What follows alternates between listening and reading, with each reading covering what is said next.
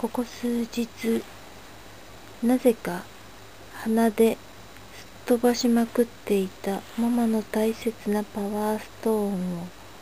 今度はミルキーがすごい勢いで守るようになってしまいました。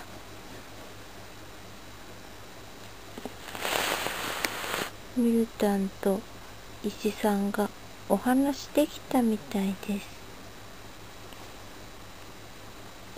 ミルパワーストーンとお話ができますよ。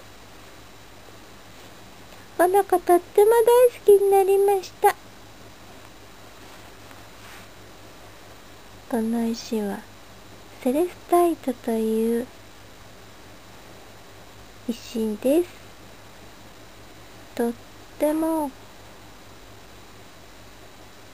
癒し効果のあるかといって意外にまっすぐな性格の石かな？